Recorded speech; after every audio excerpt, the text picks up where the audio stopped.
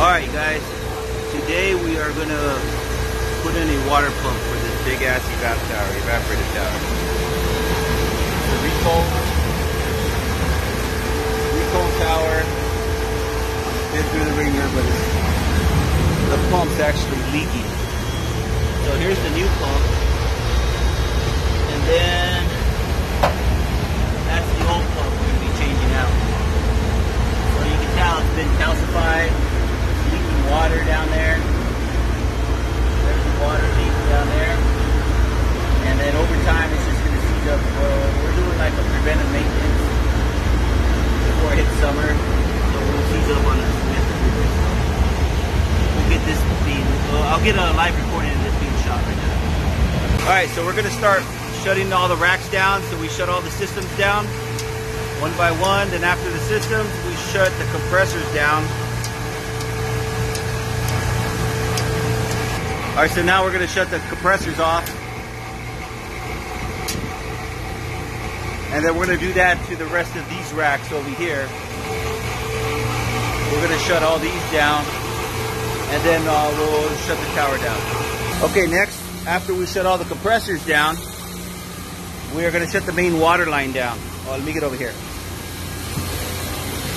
So go ahead and shut the main water line down. And then what it is is that we're stopping the water from flowing into the slope. So we're gonna then now next we're gonna drain the water. So we're gonna drain the water by that gate valve.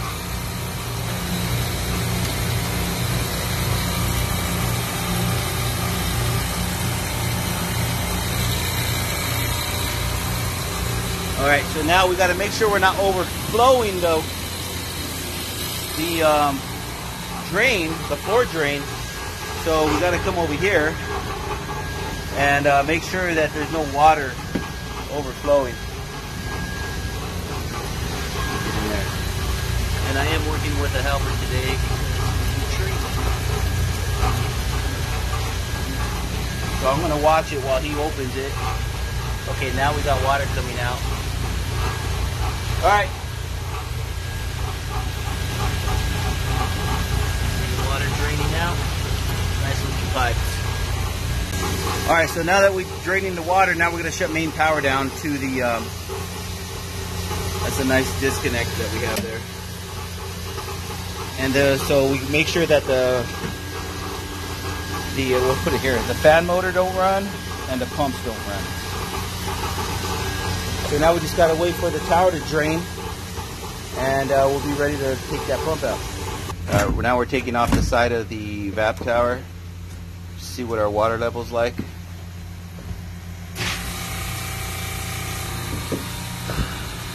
It's a small tower, so it's not gonna take too long to drain. There's our pump right there where the green is.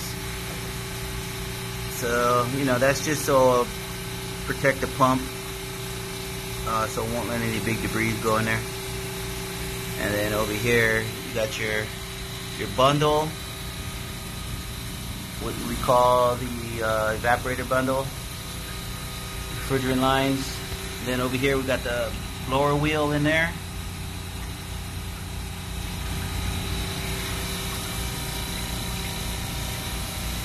And then over there, that's where the water fill comes in with your float and everything, that's where it fills it up.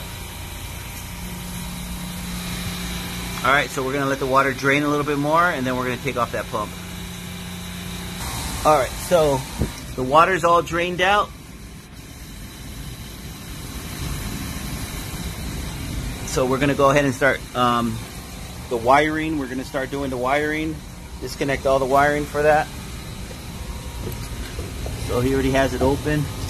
Gonna start taking that wiring apart, disconnecting all that, disconnecting the pump and the feet, uh, and then there's four bolts I'll show you. All right, now we're just gonna take the screws off of the motor and take the, all four of those screws out, pull the pump out.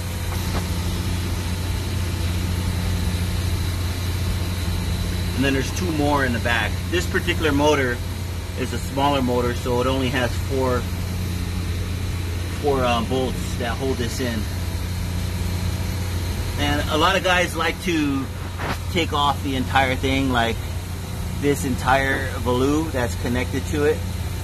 Um, what I usually do is I take out the pump and I leave everything attached and just break the pump seal.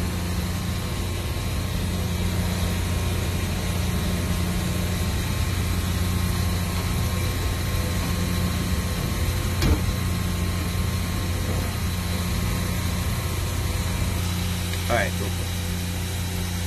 There it goes. Now we're working here. There it is. Easy money right there.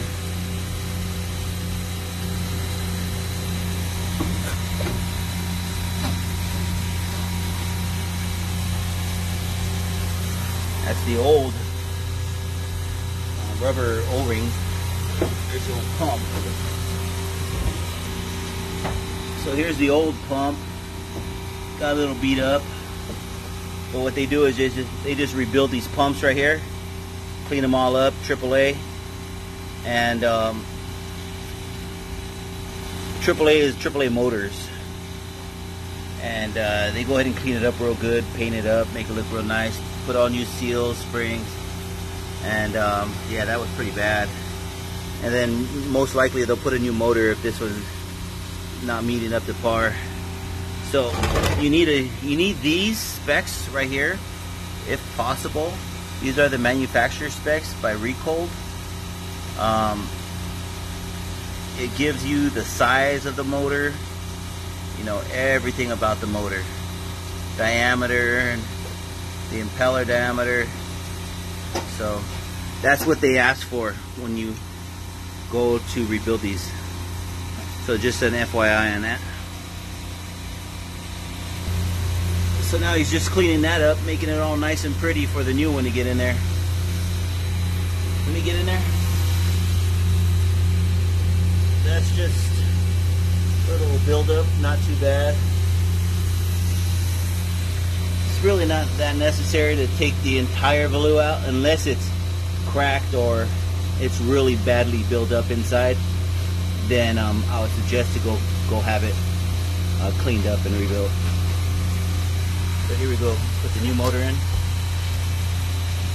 Usually this is a one-man job, guys, so don't think it's always two, unless that pump is like, like a really big, a bigger one. There's like super big pumps where definitely require two guys. Okay, and that already had its O-ring on there. The that came by the manufacturer. See how it fits perfect in there. All right, so now we're just putting the bolts back in.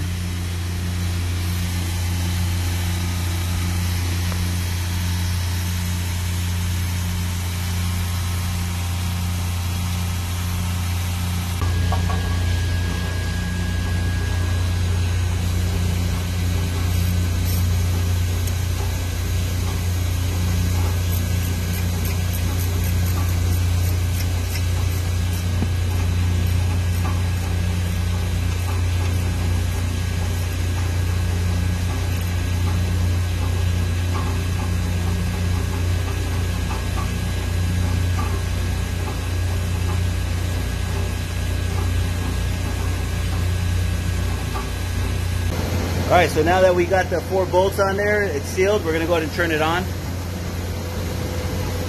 And then I'll lift this up.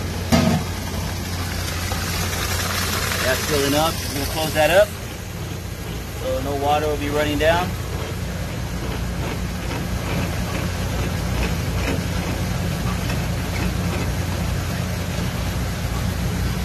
All right, tie that up. So now, while this is filling up, he's gonna go and uh, finish up the wiring.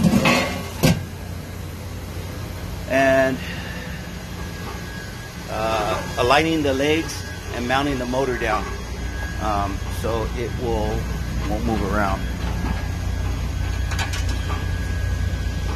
All right, so since we lined everything up, all the bolts lined up with the the new motor didn't line up with the old holes, so we had to, you know, make it fit with these existing holes here. And on the other side, these fit perfect. But on this side, they did not fit. So we got to drill new holes in there. So that's what we're to do right now.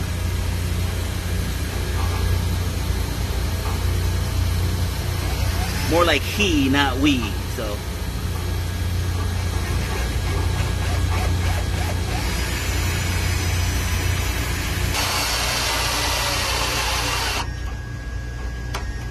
Now you gotta put it on number two. Or number, number one. We'll drive it down.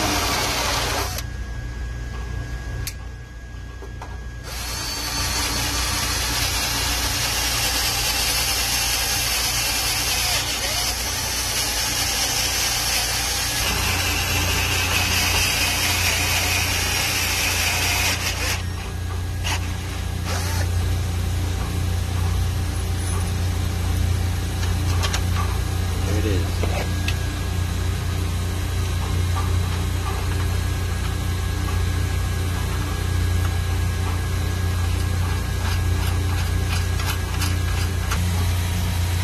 Alright, got all the bolts on there.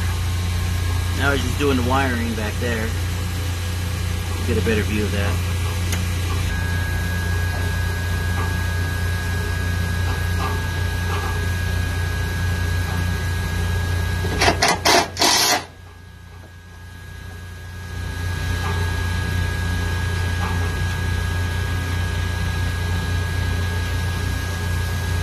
We'll come back when all that's wired up.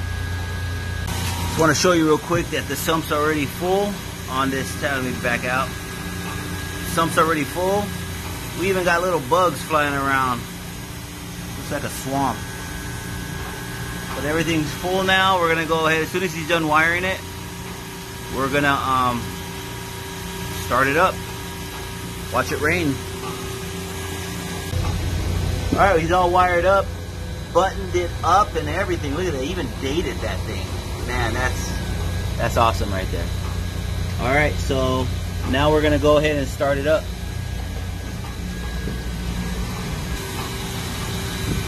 Okay, he's gonna start the pump up, and I just want you guys to see how it looks when it rains in here. He's gonna turn the power on first. Main power goes on. Then the pump switch. Pump's running. Make sure it's spinning the right way. We always got to make sure it spins the right way or else it won't do anything. So let's go check here. We spinning the right way? Nope. We are not spinning the right way. So that means that we have to reverse L1 and L2 because it's a three phase. So we could do that up here at the contactor.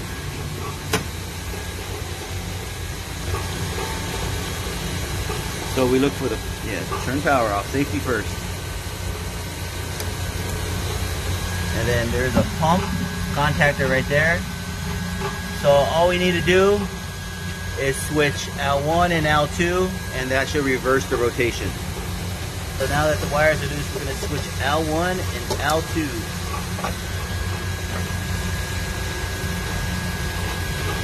Of course, when there's no power, we need to check that.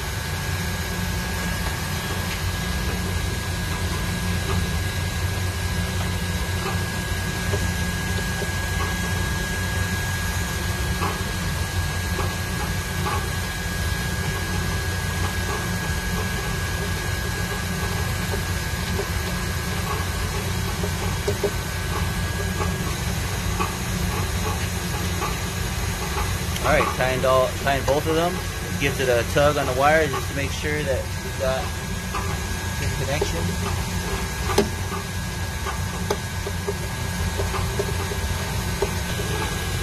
All right, so now we're gonna go ahead and um, start this one back up. Turn the power back on. The main power. All right, now we're gonna turn the switch on. And then here we go. There it comes. It's gonna get wet out here. There it is. Now it's starting to come out. And there you go, guys. That's it. Looks like it's raining. And that's the way it's supposed to look. Now I gotta close the door. So now that we got the pump set, let me bring it back here. Now that we got the pump set, dated, and spinning the right direction, no leaks in it. We confirmed that earlier, that there's no leaks. And we're gonna go ahead and start the rack up. All the racks. That's the old pump again. We're gonna start up all these old racks and get it up and running. Okay, you always wanna start with the compressors first before you open up any circuits. Because last time we pumped down all the circuits first. That pumped down the racks, which is right here. Go ahead and turn those on. And these ones he's going to stage on fairly slowly. We haven't, we didn't have it down that long, so there shouldn't be any migration of the um, suction. And then once we get all these back on, then we're going to go ahead and turn the rest of these compressors on. All these. So once the all the compressors are running, the load's going to pick up on the condenser. It's going to sense it through the drive. We have this hooked up to a, um, a VFD. I believe it's Danfoss.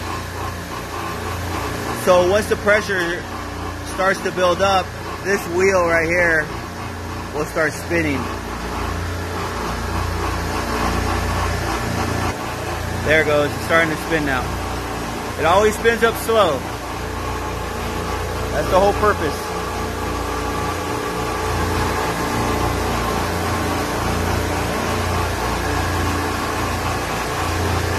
All right, you guys, we are all done with this job. Thanks for watching. Like and subscribe. And uh, there'll be some more.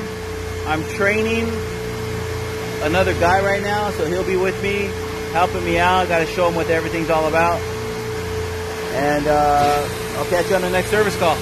Thanks for watching.